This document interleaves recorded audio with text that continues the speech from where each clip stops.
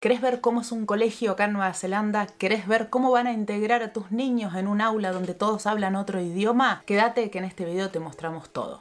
Hola a todos, acá Romy nuevamente desde Nueva Zelanda. Queríamos compartir este gran video que es posible gracias a Caro, que es la profe que sale en el video anterior, que si no lo vieron se los dejo por acá, donde cuenta su experiencia trabajando en un colegio aquí en Nueva Zelanda y tuvo la mejor idea de hacerles entrevistas a algunos profesores, también de filmar un poquito una clase para que ustedes puedan ver y entender cómo funciona aquí el sistema educativo. Más que agradecida a Caro, que también aprovecho para hacerle propaganda, que es la profe que arma los currículums al estilo kiwi, en nuestra página web pueden encontrar su contacto si querés venir a trabajar al país, puedes contactarla para tener el mejor CV y la mejor carta de presentación para conseguir un trabajo y un sponsor aquí en el país. Terminemos con la propaganda y empecemos con este video. Kia ora koutou, nau mai, haere mai ki te kero Waterloo, ko Suzanne Sua, toko ingoa, e tunua ki tōku tūranga mahi, i te kero Waterloo. Hello and welcome to Waterloo School. I'm Suzanne Silla and I'm the principal here. Welcome.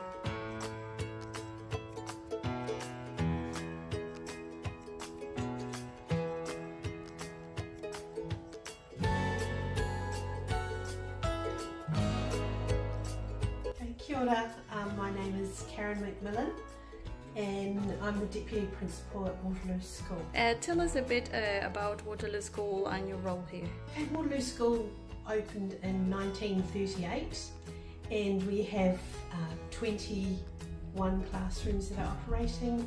We have our kids range from age 5 to age 10 uh, and then they go off to intermediate school before they go off to, to secondary school. My role here is that I'm the deputy principal and I support the principal with the day-to-day running of the school. Um, but because I am the deputy principal, I do have some classroom responsibilities, so I do get to spend some time with children in the classroom. And uh, what are the main features of the New Zealand education system?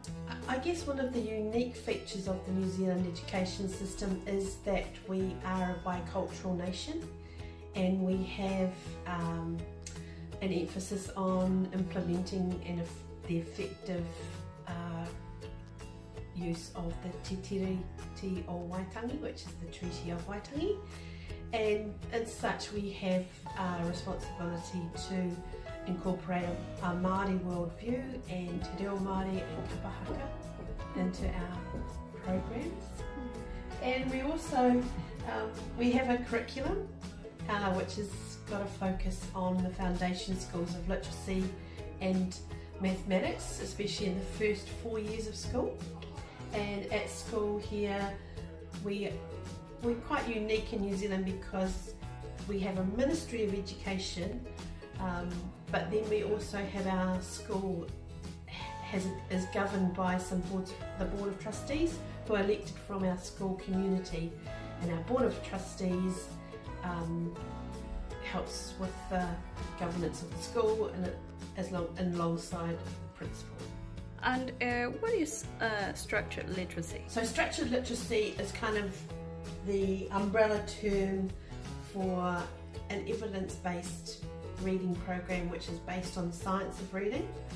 Um, it is explicit, systematic and se- sequential and it starts from the real foundation of having a, a solid base of phonological awareness and knowing the parts of the brain that different um, language acquisition comes into. And so it's going from hearing sounds to um, being able to record those sounds on the paper, to being able to put those sounds together, to be able to read words, then sentences, and then um, paragraphs. And uh, how does the assessment system work? So the assessment system works is that we have a triangle and at the top of our triangle is what we call our high impact assessment and those are the things like tests and um, standardized uh, yeah, standardized assessments.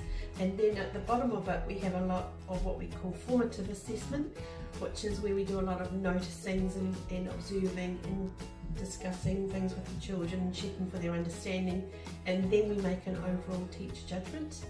With um, structured literacy in particular, we do have some set standard assessment that we do from when they begin school, and then every term they have a spelling test or a reading test. And how do you integrate children who don't speak English? So when we, when we get our children who have English as their other language or their second language, and some children it's their third or fourth language as well, we get them straight into the classroom, immerse them into English, into the English speaking, and if we can, we set them up with a buddy who speaks their own, their heritage language.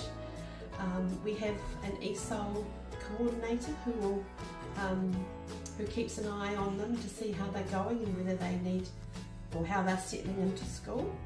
Um, we kind of make sure that they are happy at school and that they're starting to make friends um, and that they uh, take part in activities and if we need to then we'll get some more information off parents. And finally, uh, why should families choose Waterloo School? Um, families choose Waterloo School because we are a real slice of New Zealand. We um, have many cultures.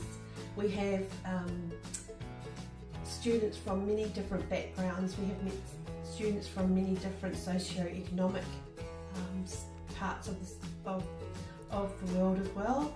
Um, we also have some great teachers.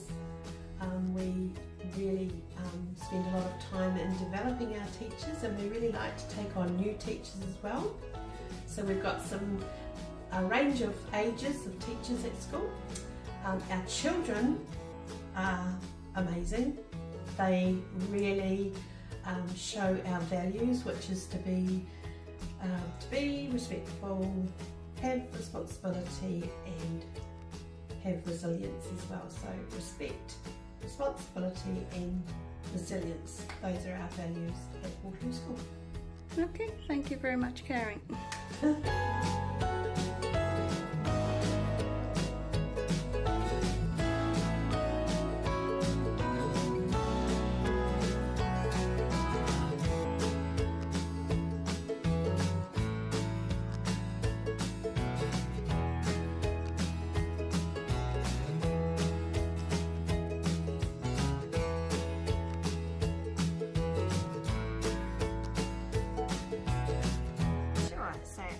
Stacey May and I work at Waterloo School. Um, I've been teaching for over 20 years and I've been at Waterloo School, school on and off for about 18 years. I teach uh, a year one class at the moment. I've been part-time for the last eight years but I've just now started full-time again. So yeah, so five-year-olds, year ones, and I started back in term three, so I've been here for two terms. And what's the most uh, fulfilling aspect of the, your job? Uh, fulfilling aspect is probably I do love teaching five-year-olds. Um, I love to see when they come to school they have not a lot going on for them so a lot of them can't read can't write um, and then through our teaching the progress that they make is amazing like if you go back through their books and see what they've been writing from day one to now, there's a huge progression. Okay. Um, and also with the new structured literacy, teaching ideal, I think that's doing some amazing things for our children's progress. I've got one particular girl who really struggles at spelling time and through this structured literacy approach, yeah, she's come a long way. She, I mean, if you just have a look at her books, you can see the progress that she's making and that to me is the most rewarding mm -hmm. just mm-hmm. seeing where they've come from and where they are now and just their confidence Good. that grows with that as well. And what are your challenges? My challenges this year in particular have been new children coming throughout the year. I think we've got a lot of ESOL children, so children that speak little to no English, um, and they've sort of been I almost feel like they've just been dropped into our school with nothing. And we, I mean, we, I'm just one person and I've got 18 children and they've come in with no English. That's what I find the hardest. So myself and the teacher next door have spent a lot of time with these children. We've put them together so they're kind of like our ESOL, our non-speaking English children, and we've been working with them in a small group. But it's really hard because our time is so precious and we've got a lot of children and these children come in and they're so far behind everybody else that you have to spend quite a bit of time with them um, to get them, well, they're nowhere near where the rest of our five-year-olds are at.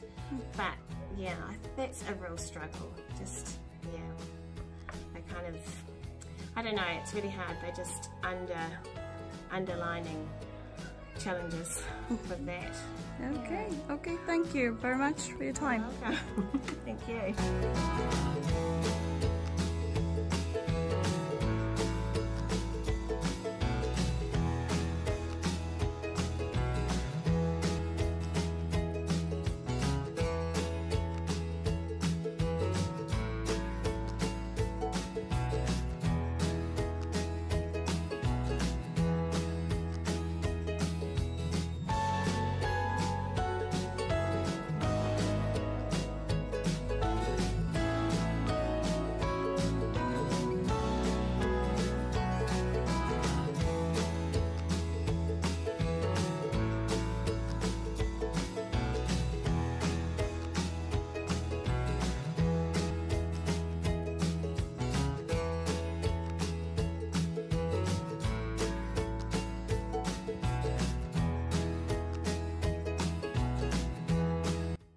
Sounds. Let's go. A, apple, A. E, egg. I, itchy, it. O, olive, o. U, up, up. I can hear some silly voices. It's very sensible voices. Right. Good job. Nice.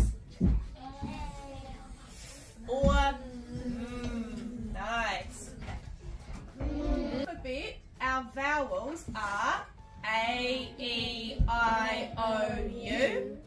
All of the other letters in the alphabet are consonants. It is a lion. That's okay. Try the next one. So we have got, want to make it big. What am I going to do to make it big? David?